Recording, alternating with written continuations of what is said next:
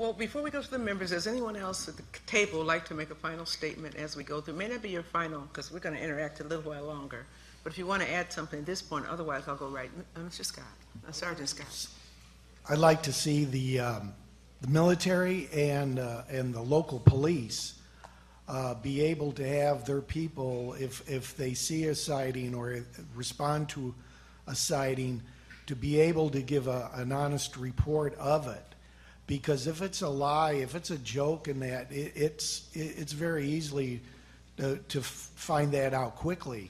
And if it's not, then, um, then what we're doing is gathering more intelligence information on a possible friend out there or a possible enemy and that and the more information we gather the better it is for us and right now the police department my brother's a retired policeman he they they would send a rookie cop out to investigate they didn't want to do it they would laugh about it but once he found out I was coming here then he got more serious after all these years, and they told me he believed also.